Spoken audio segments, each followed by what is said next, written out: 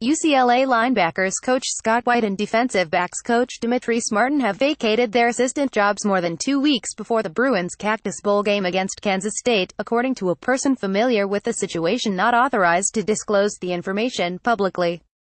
The reason for the departures was the recent hiring of Don Pellum to coach linebackers and Paul Rhoads to coach defensive backs, the person said. With Pellum and Rhoads starting to recruit for the Bruins, the team needed to shed staff to stay within the maximum allotment of nine assistants. White and Martin have been paid through their contracts. The assistants had initially been expected to remain in their roles through the deck. 26 bowl game at Chase Field in Phoenix even though they would not be part of Coach Chip Kelly's new staff. Graduate assistants Dalton Hilliard and Kyle Weiss are expected to fill in for White and Martin during preparations for the bowl game. Caption caption caption caption caption ben.bolch at latimes.com Follow Ben Bolch on Twitter at latbolch.